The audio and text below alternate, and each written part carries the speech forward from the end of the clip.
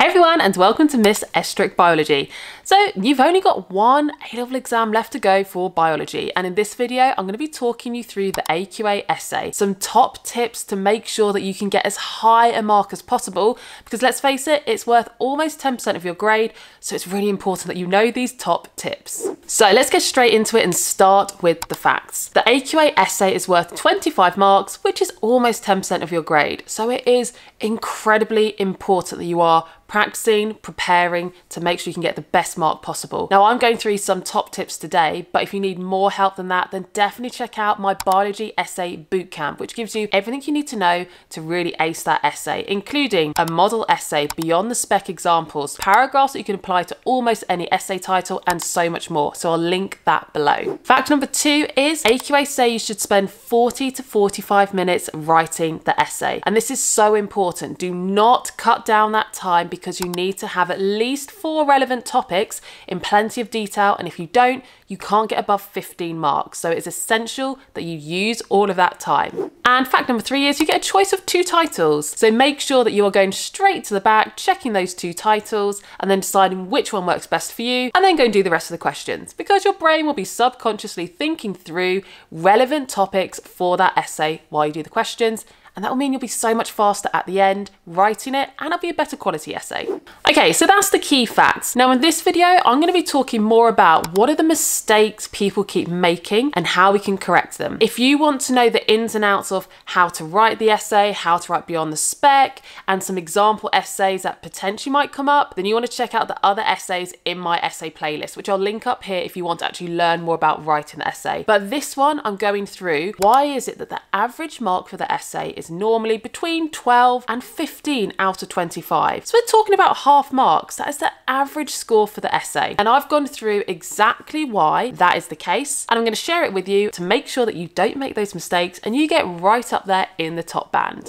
Okay, so let's take a look. Here is the list of the common mistakes that students make, which is why they don't get above 12 to 15 marks. And I want you to have a think, how many of these mistakes have you made or are you making? And let me know in the comments. Let's see which ones people are making.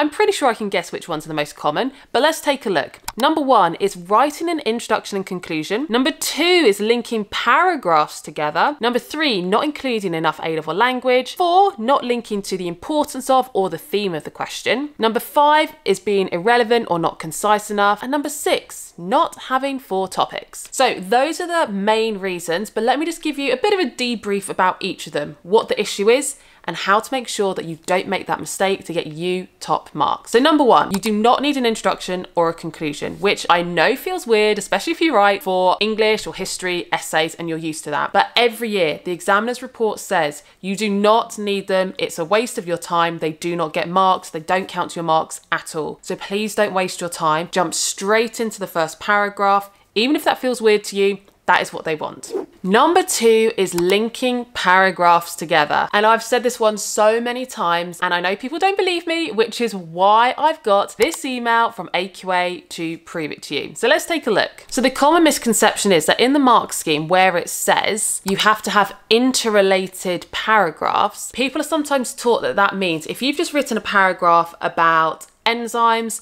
the next paragraph, you have to find some sort of connection from enzymes to the next topic so that they link together. That is not what that bit of the spec means.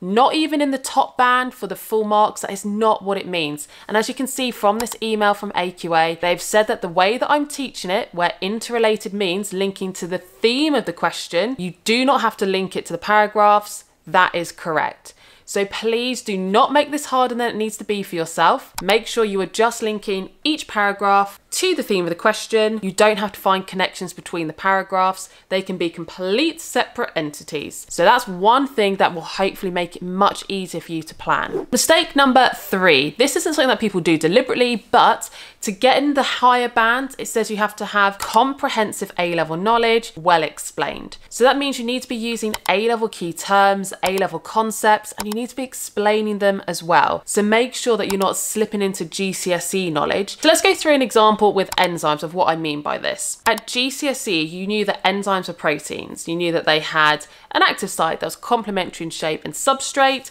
and you knew that those could combine together to form an enzyme substrate complex, lowering the activation energy to speed up the rate of reaction. So that is all GCSE knowledge, not A level knowledge. To turn that concept into an A level answer where it's comprehensively explained, you need to be thinking about the tertiary structure of that protein, the enzyme, thinking about the location of the bonds, providing that unique shaped active site. And then you'd need to be explaining the induced fit model for how that results in a lowered activation energy, because that then brings it up from GCSE to A level standard. Now, the best way to make sure that you are not slipping into GCSE knowledge is picking topics to write about that you didn't know at GCSE. So things like the gas exchange in insects. You didn't know that at GCSE, so there's no way you could slip into GCSE knowledge. But even with that example, you still need to make sure you're including the key terms and explaining them. Number four is linking to importance or the theme of the question. So the importance of part I'm going to address first. Every paragraph you should have your AO1, which is where you're describing the process or the molecule, whatever the title happens to be about. So if you think about cycles last year and you went for the cardiac cycle, your AO1 would be describing the cardiac cycle. Your AO2 is where you now have to link it to the theme, where you have to explain why the cardiac cycle is important. So for that one, you could be linking it to the fact that it enables you to have oxygenated blood being pumped around the body at high pressure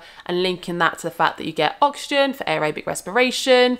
And that means that you can produce ATP for metabolic processes. Now, that's a very condensed short version, but that's just to demonstrate that when we say the importance of, you need to be explaining exactly why that process or molecule is important. And that shouldn't just be a single sentence, it needs to be at least a third of the entire paragraph. And that's one of the common mistakes people make. And if you do make that mistake, you can't get above 15. So you have to make sure you are explaining fully the importance. Now, I also said number four is linking to the theme of the question. And for this one, it's if you aren't referring back to the title enough. So in the past, there's been essays on the importance of membranes. So within your paragraph, you should be saying the word membrane multiple times and keep focusing about what is the membrane in this process? What was the role of the membrane in this process? Why was that membrane important? So keep linking it to the theme of the question, and that will help make sure that you're being concise and relevant, which takes me on to point number five making sure you're not irrelevant and making sure you're being concise enough. So, irrelevant, you might not realize that because you might have thought you've picked a relevant topic but you haven't. The best way to overcome that is to practice. Do lots of plans and then check the mark schemes to check did you come up with a topic that counted as relevant. If you did see a black tail going in front of the camera a few times, this is the culprit. B apparently absolutely loves the idea of biology essays.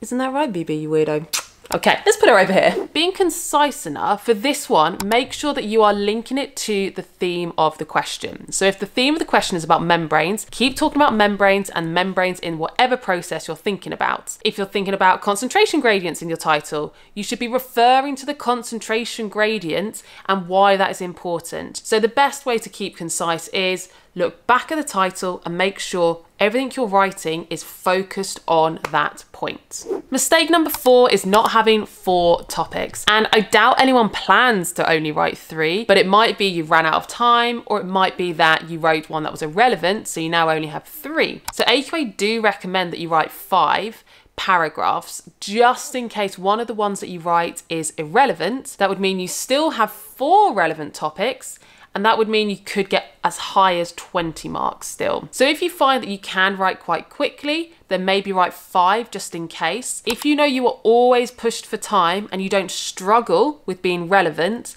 I personally think you'd probably be better off writing four decent paragraphs in enough detail. Because if you write five and they're all relevant, but they're all lacking in detail, you're probably going to get around 16, 17 marks, maybe even lower. Whereas if you wrote four paragraphs that were all relevant and you have them in enough detail, you'll probably get around 20. It's about working out what your strengths and weaknesses are, whether you decide to go for four or five. Now, if you need help knowing exactly how to get 20 to 25 marks, and I recommend you watch this video next where I actually explain the mark scheme to you.